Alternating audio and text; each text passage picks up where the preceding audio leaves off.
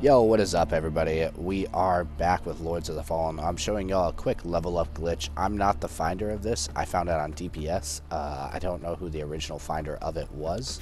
It's the same kind of save dupe glitch that's in every like Souls-like game. Just like it was in Elden Ring, Dark Souls 3, and all that. So, what we're going to be doing is duplicating uh, the soul consumable items. If you have any souls right now, my recommendation for y'all is to come over to this this guy right here. And you'll be able to get everything you need from him. Um, he sells consumables that are 3200 and 1600 um, so once you buy those you can duplicate it. You can start from one and keep working your way up. Uh, you can also duplicate the umbral scourings and upgrade materials. So um, very useful for those of you see that uh, are wanting to play this game and upgrade all the weapons for PvP and stuff like that, or even try out different builds.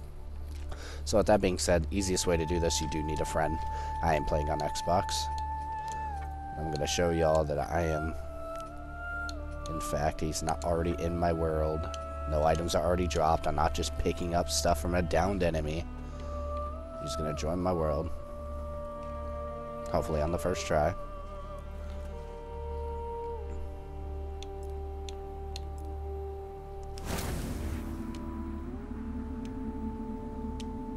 Alright, so what Cake's going to do now, since he has the hard save in the items, he's going to drop them. Cake, go ahead and drop them. so, 1,000 of the Vigor Skull, and those are 32 that's the 3200. We only have the 3200 one because we just wanted the biggest one. He can drop upgrade materials as well as those shards. So, uh, I will warn y'all now, going over a thousand can hurt your game. So be very careful with dropping large amounts like that. Um, with the Scouring, I would only drop 500 at a time. From here, what Cake's going to do, I'm going to show y'all. He's going to go press start. He's going to go into here. He's going to go into his manage game. He's going to go to his save data. He's going to go to here. And he's going to delete from console. I'm not going to do it because I'm holding the items now. And I want the item. So, uh, once he does that, he will reload the game. It'll back up his cloud save. And from there, he can re-summon into my world, drop the items again, and we can keep on going. Um, the easiest way to get a hard save is, uh, let's say Cake loses the item somehow. You know, something stupid happens. Uh, there's a glitch with the with dropping the items because that can happen. You know. Um, so what happens is, is I would go to his world. I would drop the items. He would just, I would just leave his game like normal. I would just do a quick go to exit menu. What Cake would do is then come into my world. He would quit the game I recommend doing it twice just to make sure it actually hard saves because whenever you rage quit in a Souls game, it does a hard save 99% of the time. Uh, you can kill yourself. Killing yourself, we have realized, is not 100% uh, guaranteed to get a hard save. Uh, we have noticed this is the easiest way to get a hard save, so just to help y'all out. So, Cake, I'm going to re-beckon you. I'm assuming you're back in your game.